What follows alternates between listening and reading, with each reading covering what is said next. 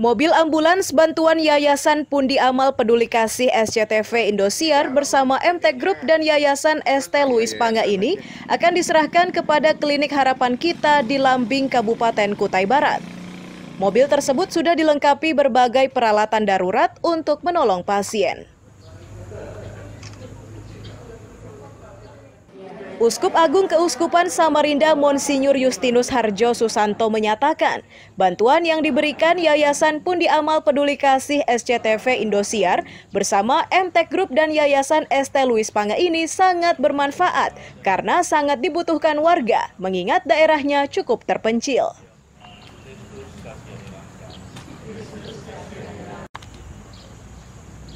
Pada kesempatan yang baik ini ingin menyampaikan banyak terima kasih kepada Yayasan Peduli Amal Peduli Kasih, Indonesia dan SCTV, juga kepada MT Group, juga kepada um, Yayasan Louis Mangga yang telah mengusahakan ambulan unit um, klinik harapan kita di daerah itu daerah yang sangat terpencil, daerah di pedalaman yang sangat membutuhkan sarana prasarana untuk pelayanan ini.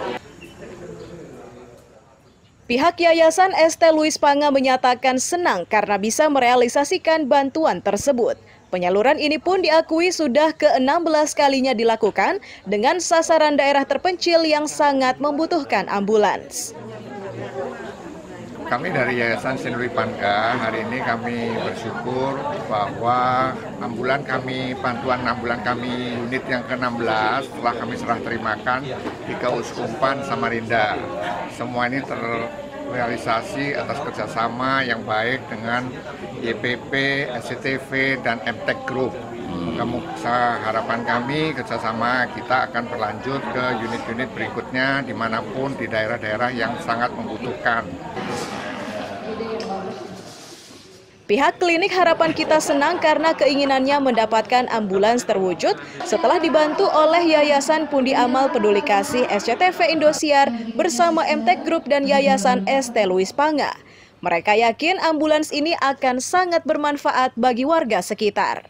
Rasa syukur dan terima kasih dan berbangga kami boleh menerima satu unit ambulan untuk klinik kita Lambing, di mana hal ini sangat membantu kami dalam mewujudkan pelayanan kasih dan mewujudkan karya keselamatan kepada banyak orang. Saat ini, mobil tersebut sudah tiba di klinik harapan kita di Lambing, Kutai Barat setelah menempuh perjalanan darat dari Samarinda. Mobil tersebut kini sudah siap dimanfaatkan untuk kegiatan medis.